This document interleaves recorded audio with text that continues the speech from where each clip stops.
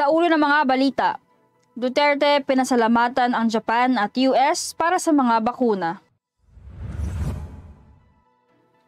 Dole walang reklamo sa walang bakuna, walang sweldo na pamamaraan.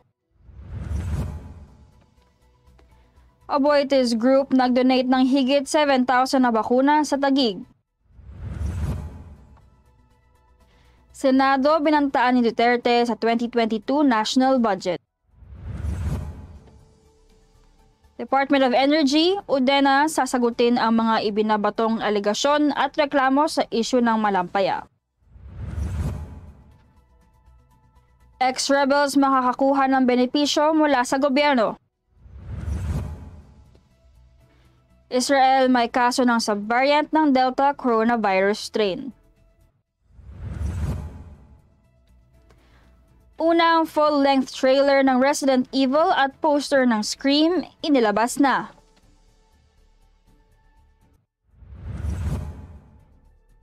Magandang hapon, ako si Venice Bautista at ito ang Tribune News on Q. Narito na ang mga may init na balita sa oras na ito. Pinasalamatan ni Pangulong Rodrigo Duterte noong Martes, Oktubre 19, ang Japan at Estados Unidos sa pagbibigay ng milyon-milyong doses ng bakuna ng COVID-19 sa Pilipinas. Sa isang ulat sa bansa, sinabi ng Pangulo na ang dalawang bansa ay nagpadala ng halos dalawang milyong doses ng bakuna bawat isa upang higit na mapalakas ang stockpile ng gobyerno. Inilarawan din ni Duterte ang donasyon ng bakuna sa Washington bilang isang pagpapakita ng lakas ng alyansa ng US-Pilipinas. Inihayag ni Duterte na ang mga donasyong bakuna ay maglalapit sa bansa sa layunin nitong makakuha ng proteksyon ng populasyon bago magtapos ang taon. Pagkatapos ay hinimok ng Pangulo ang publiko na muli magpabakuna, binigyan diin na ang mga pagkamit ng proteksyon ng populasyon ay kabilang sa mga solusyon sa pandemya. Nitong Oktubre 18, nakatanggap ang Pilipinas ng higit sa 91.5 milyong doses ng bakuna laban sa coronavirus. Inaasahan ng mga otoridad na ang numero ay maaabot ang 104 milyong marka sa pagtatapos ng Oktubre. Sinabi ni Labor Secretary Silvestre Bello III noong Miyerkules na ang Department of Labor and Employment ay walang natanggap na formal na ulat o reklamo patungkol sa sinasabing walang bakuna, walang sweldo na iskema sa ilang mga trabaho. Sa isang pakikipanayam sa palabas ng Daily Tribune na gising na, itinanggi ni Bello ang sinasabing no vax, no pay scheme na ilang mga employer na pinarusahan ang mga manggagawa na hindi nabakunahan ng mga anti-COVID-19 na doses sa pamamagitan ng pag-hold sa kanilang sweldo. Ayon kay Bello, mapipilitan lamang ang mga tao na sumailalim sa pagbabakuna kung naipasa ang isang batas na mga ngailangan ng lahat ay magpabakuna. Upang maalala, sinabi ni Pangulong Rodrigo Duterte na gagamitin ng gobyerno ang puwersa ng pulisya upang pilitin ang mga mamamayan na magpabakuna laban sa sakit na COVID-19. Sa kabila ng karapatang mamayan na malayang tanggahin ang mga pagbabakuna, nakiusap pa rin si Bello sa mga netizen na magpabakuna. Ang Aboitiz Group noong 14 ng Oktubre ay nagbigay ng 7,600 na mga bakunang AstraZeneca sa Taguig City. Ang donasyon na isinagawa ng armong responsibilidad ng conglomerate na Aboitiz Foundation, pati na rin ang Aboitiz Equity Ventures ay inspirasyon ng mahusay na pangako ng Tagig sa kampanya ng pagbabakuna sa COVID-19. Sinabi ni Taguig City Mayor Lino Cayetano na 70% ng pangkalahatang populasyon ang buong nababakunahan. Ang Luzon ay mayroon ding pinakamalaking bilang ng mga test sa Metro Manila at pinalawig nito ang libreng test sa mga empleyado ng Aboitiz na may mga sintomas ng COVID-19. Bukod sa pakikipagtulungan ng gobyerno, tumutulong ang Aboitiz Group na makamit ang herd immunity sa pamamagitan ng pagpapatuloy ng panloob na programa sa pagbabakuna.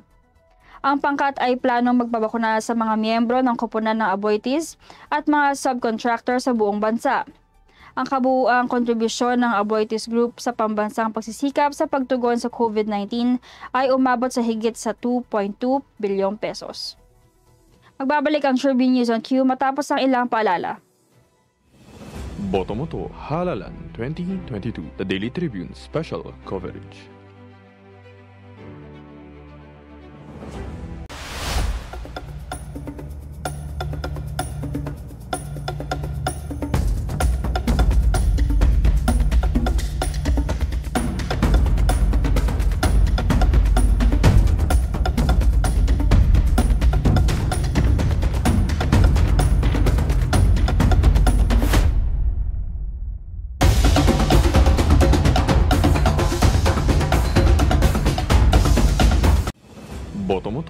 Halalan 2022, The Daily Tribune Special Coverage.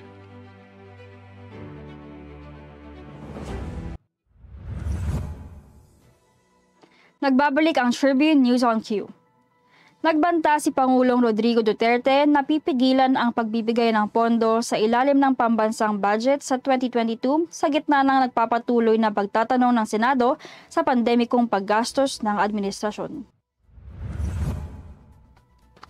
Sa kanyang pampublikong pahayag na ipinalabas noong Martes, Oktubre 19, pinatikos ni Duterte ang mga senador sa di umano'y babalan na islash ang budget ng mga ahensya ng ehekutibo na ang mga opisyal ay lumaktaw sa pagdinig ng Kamara. Ang mga sinabi ng Pangulo ay pinakabago lamang sa isang serye ng mga banta at insulto na kanyang inihagi sa Senado tungkol sa pagtatanong nito sa umano'y irregularidad sa multibilyong pisong nagpagbili ng mga pandemikong panustos mula sa dayuhang firm na Pharmaly Pharmaceutical Corporation.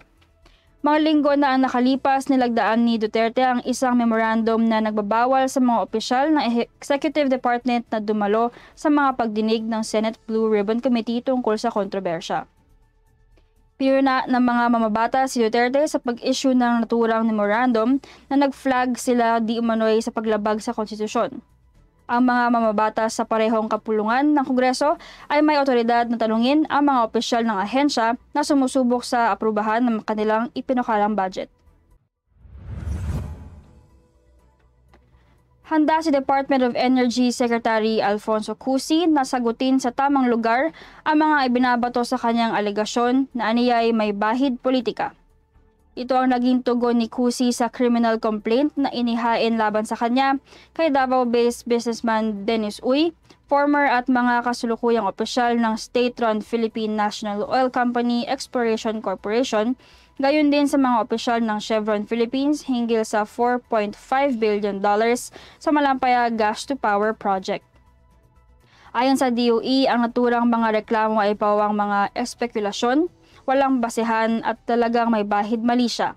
Iginiit pa niya, na ang mga inireklamong transaksyon ay above board. Nangangamay politika ang ni Kusi, ang presidente ng PDP Laban kung saan miyembro at chair si Pangulong Rodrigo Duterte ang inihaing reklamo ng grupo na pinangangunahan ni Loida Nicolas Luis, isang New York-based billionaire at kilalang financier ng mga anti-Duterte rallies at backer ng mga kandidato ng oposisyon. Naghain ng reklamo sina Balgamel de Belen Domingo, Rodel Rodis at Luis sa ombudsman nitong Oktubre 18. Samantala, naglabas ng pahayag ang kumpanya ni Uy ng Udena na hindi pa nila natatanggap ang reklamo na inihain laban sa kanilang mga opisyal sa ombudsman at nalaman lamang ito sa pamamagitan ng mga ulat sa media. Nais ng kumpanya na sa tamang oras at lugar talakayin ang lahat ng mga paratang na pinalabas laban sa kanilang mga opisyal.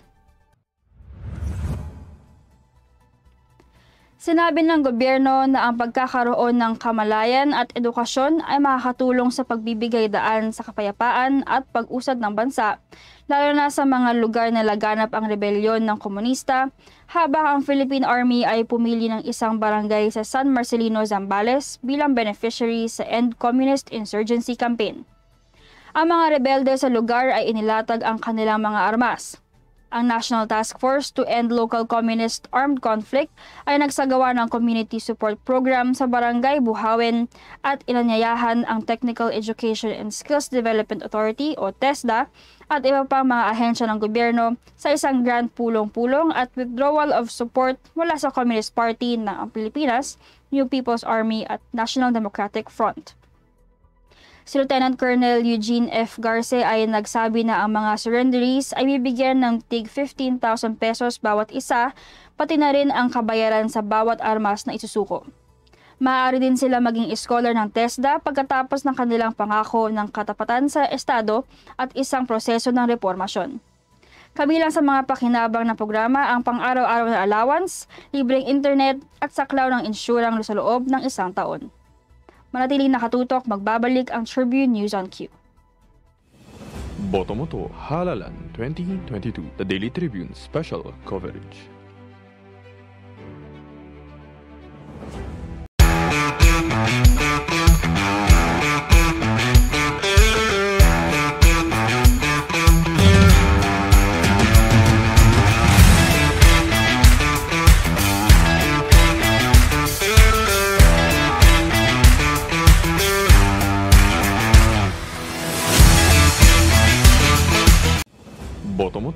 Halalan 2022, the Daily Tribune special coverage.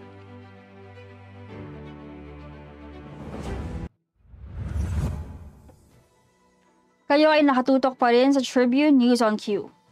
Sa ibang balita, kinumpirma ng Israel ang isang kaso ng isang subvariant ng Delta strain ng coronavirus na dating naiulat sa ilang mga bansa sa Europa, sinabi ng Ministeryo sa Kalusugan. Isang 11 taong gulang na batang lalaki na dumating mula sa Europa ang nagdala ng subvariant AY4.2, sinabi ng ministeryo na idinagdag na ang kaso ay nakilala sa paliparan ng Ben Gurion sa Tel Aviv. Ang bata ay na-quarantine at walang karagdagang mga contact na natuklasan, sinabi ng ministeryo. Si Francois Balou, profesor ng Computational System Biology sa University College London, ay nagsabi sa AFP na ang subvariant ay bihira at hindi lumilitaw na magkakaroon ng parehong peligro ng makabuluhang pagtaas ng paghahatid tulad ng iba pang mga strain. Ang variant ay natuklasan habang isa sa alang-alang ng Israel ang pagluwag ng mga paghihigpit sa turismo kasunod ng mga pagbagsak ng mga kaso. Isang naunang plano na muling buksan ang mga borders na itinatag sa gitna ng pagtaas ng mga kaso na hinimok ng Delta strain. At ngayon dumako naman tayo sa balitang showbiz, unang full-length trailer ng Resident Evil at poster ng Scream inilabas na. Para sa detalye, narito ang Tribune Extra na ihahatid sa atin ni Kim Sancha.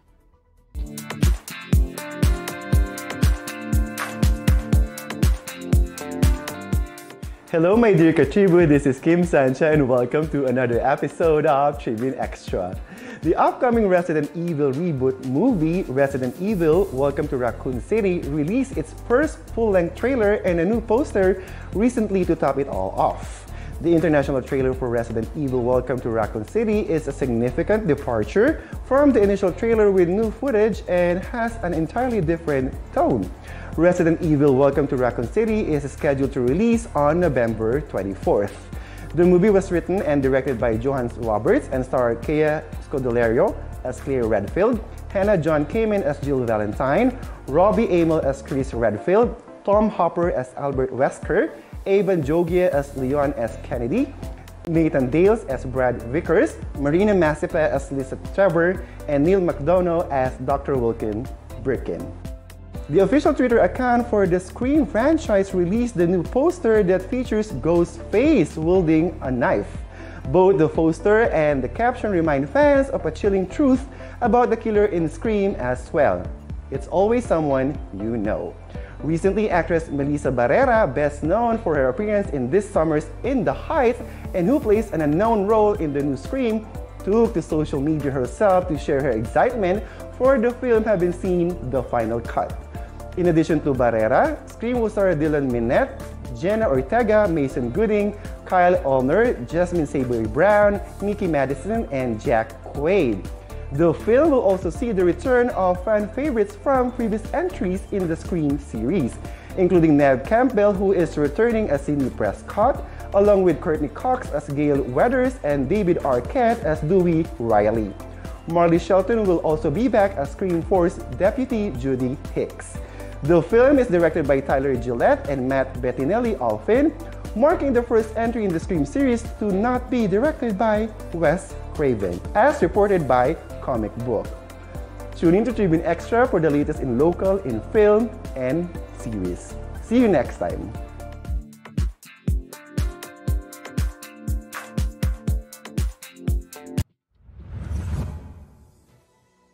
Maraming salamat Kim Sancha. At yan ang mga balitang nakalap sa oras na ito. Ang Tribune News on Q ay nais magpasalamat sa mga simusunod. The SM Store, Arnada Center, Department of Tourism, MG Motors, Hino Motors, Security Bank, at kay Overseas Community Affairs Council Member Alan Lin ng Republic of China para sa kanilang suporta. Muli ako si Venice Bautista at ito ang Tribune News on Q. Magandang hapon. Boto mo to Halalan 2022, the Daily Tribune special coverage.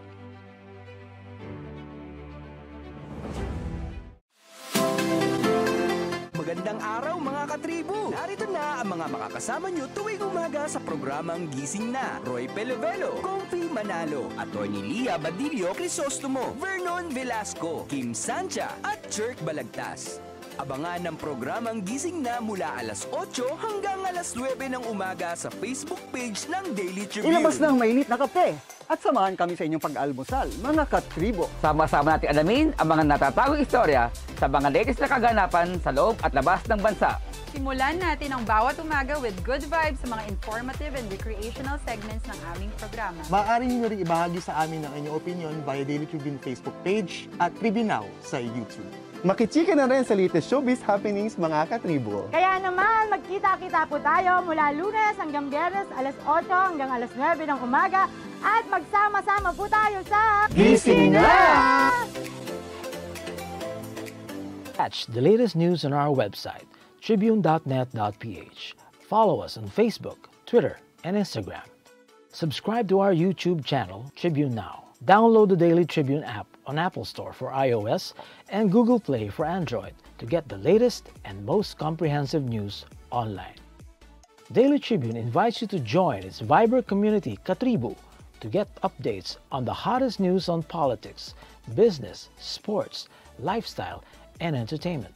Emoticons of the Tribune mascot Tercito are available on our community Viber.